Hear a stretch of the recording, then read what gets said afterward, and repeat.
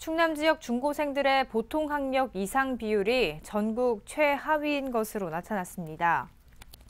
교육부가 지난해 11월 치러진 국가 수준 학업 성취도 평가를 살펴본 결과 전국적으로는 전년에 비해 보통 학력 이상 비율이 2.8%포인트 증가했고 기초 학력 미달 비율은 0.2%포인트 증가했습니다.